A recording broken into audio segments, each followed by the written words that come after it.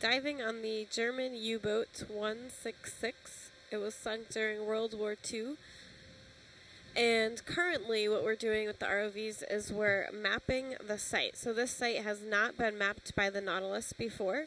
And basically, on Hercules, there are uh, a couple sensors. So, we have a black and white and a color. And it's all going to be used to produce, via sound, um, high resolution maps or stereo images. Okay, uh, a couple benefits of these maps. They are super high resolution, so they can be gridded to about a centimeter which means that they can be used for measurements. The the multibeam maps can be actually be used for physical measurements between um, simple things like you know what's the spacing of those those lattice things um, that we go over, or what's the spacing between the bow and you know the tip of the bow and the wreckage um, mangled at, at the back section there.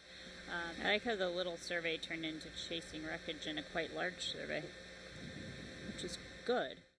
The other way to think about this is this is not a very big site, so actually using Argus, you can actually kind of see the whole thing in one shot. Mm-hmm. But um, normally, you you don't have that luxury. Normally, it's a flashlight in a hayfield. So by doing these, um, you actually get the ability to see, oh, that's what the entire thing looked like. And I think that'll become more and more apparent if and when we survey some of these significantly larger wrecks.